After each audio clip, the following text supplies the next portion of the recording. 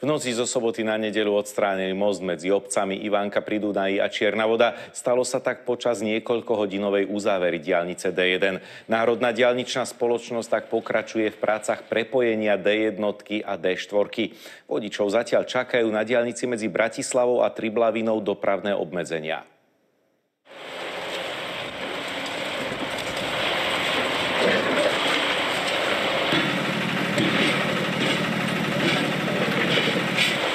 Dôkladnom plánovaní sa na nočnej akcii zúčastnilo viac ako 100 ľudí.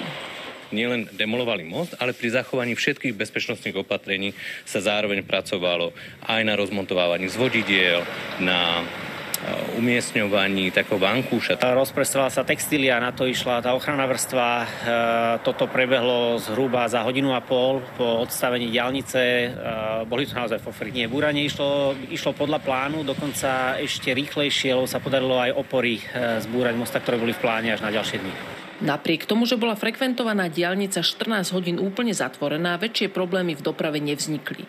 Najbližších pár mesiacov bude Národná diálničná spoločnosť pracovať na rozšírení diálnice D1 medzi Bratislavou a Triblavinou na takmer 4,5 kilometrovom úseku. Tie zúžené jazdné pruhy sú v predpísanej šírke 3,2 metra máme, e, najš, e, pomalý jazdný pruh e, pre kamiony, takže to, toto, je, toto je úplne v poriadku, štandardná šírka 2,5 a 2,2 metra, takže po tejto stránke sme, sme OK. V úseku bude platiť znížená rýchlosť. Polícia avizuje, že na jej dodržiavanie si tu aj dohliadne.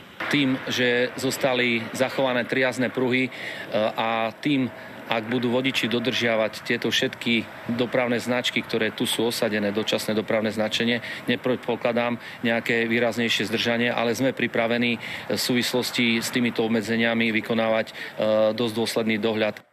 Polícia aj diálničiari apelujú na vodičov, aby boli trpezliví a jazdili primerane vzniknutej situácii. Iba tak sa vyhnú nehodám a zbytočným kolónam. Natália Krížová, RTV.